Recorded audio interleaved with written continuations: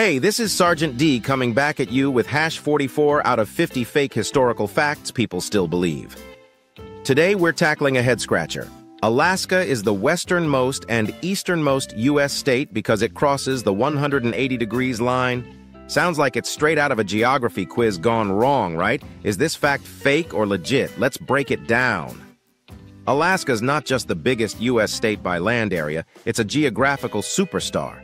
To understand this fact, we need to talk about the 180 degrees meridian, also called the International Date Line. This imaginary line runs from pole to pole, splitting the Earth into the eastern and western hemispheres. Cross it, and you jump a day forward or backward.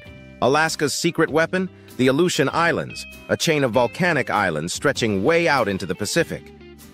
Here's where it gets wild.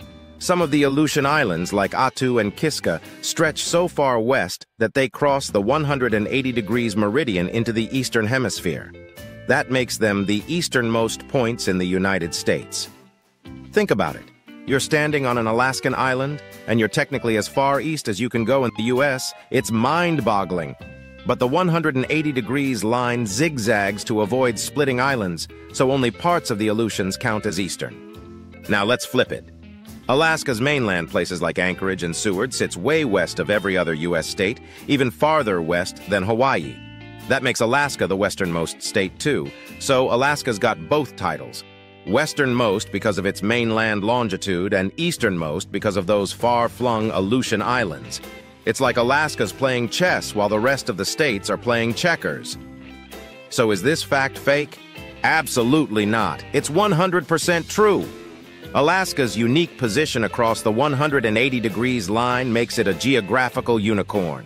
Next time someone says Alaska's just up north, hit them with this. It's the westernmost and easternmost U.S. state. Drop that knowledge and watch their jaws drop.